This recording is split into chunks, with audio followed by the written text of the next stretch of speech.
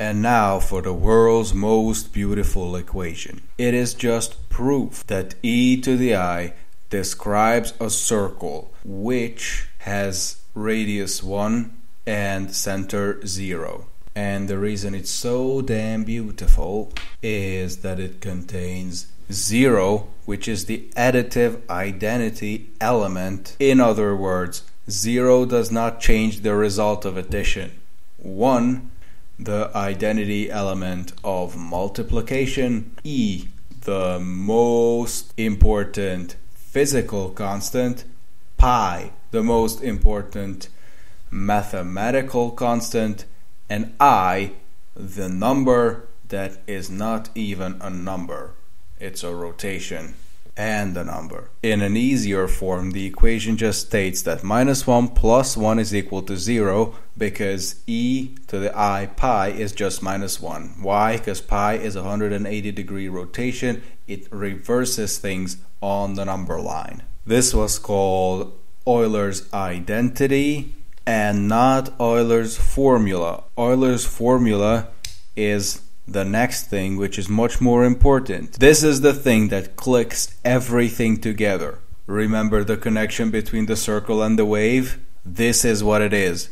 But now, purely based on numbers and functions. e to the i phi is equal to cosine phi plus i sine phi. Sine and cosine are just mathematical ways of saying wave we now have a mathematical way of saying circle, e to the i phi.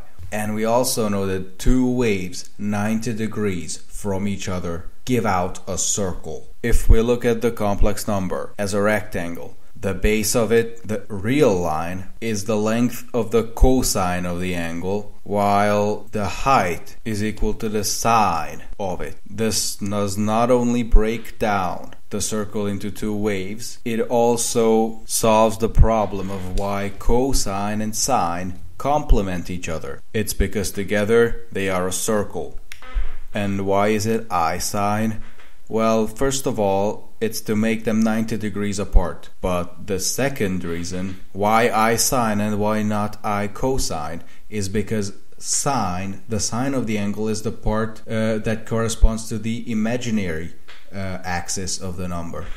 I haven't found a good visualization anywhere, so I tried to draw one. I didn't put too much effort into it, so it's ugly, but that's what you get. It shows the gist of it perfectly. What you see here is two waves 90 degrees from each other moving in unison. Imagine that the circle goes around and you just see how the wave is drawn out exactly the same thing as when one wave was waving, but now it's two and they are 90 degrees apart. And this also shows that there's nothing imaginary about that imaginary line. It's just the number line. And the final thing this is good for is to make up waves from circles.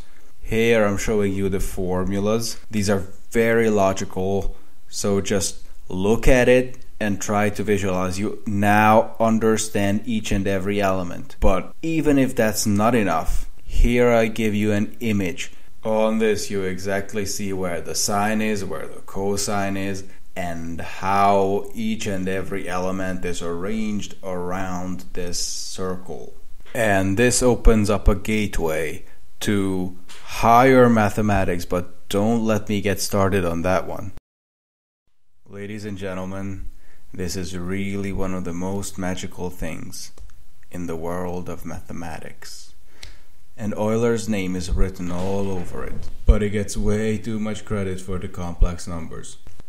It's a historical fact that the first time the imaginary unit was mentioned was about 200 years before Euler was born. They didn't know what it was, they didn't know where it was, but they knew it existed. They called it I, because they knew nothing about the imaginary unit. The idea of complex numbers was pretty well known before Euler. Bernoulli was even contemplating complex logarithms. All Euler did was took Bernoulli's complex logarithms and wrote up the complex exponential. He came to what we know today as Euler's formula only through algebraic means. He has never seen what I've just shown you. The geometrical interpretation and therefore understanding of complex numbers came from Jean Robert Argand. He was only a bookstore manager. As he was going through the books, he discovered what complex numbers truly represented. He published it, and the circle is named in his honor as the Argand diagram. It's always the big names that get the credit and then the historians have to go and realize that results are much more evenly distributed than we think. It was the hands of many people who completed this work. Most notably, Caspar Wessel, who was a mapmaker. He discovered the same thing Argand did just years before him. He only published it in a kind of journal that's rarely read outside of Denmark. And so it was unnoticed before Argand.